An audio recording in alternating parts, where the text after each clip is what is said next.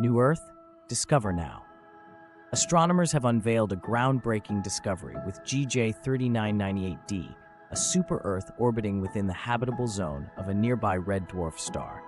This celestial body presents an exciting opportunity for atmospheric research, given its prime location where liquid water could potentially exist. The presence of water is a key ingredient for life as we know it, making this discovery even more thrilling for scientists and space enthusiasts alike. GJ 3998D's positioning in the habitable zone sets it apart, as it may possess the conditions needed to support life, a tantalizing possibility that fuels ongoing exploration efforts. The planet's relatively close proximity to Earth adds to the excitement, as it could allow for more detailed studies and a better understanding of its atmosphere and surface conditions. This discovery is a significant milestone in the relentless search for exoplanets that may harbor life beyond our solar system.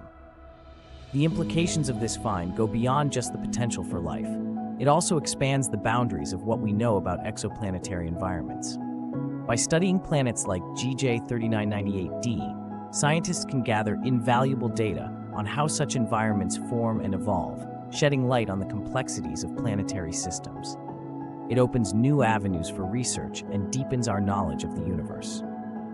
In essence, the discovery of GJ 3998d is a testament to the advancements in astronomical technology and the enduring quest to uncover the mysteries of the cosmos.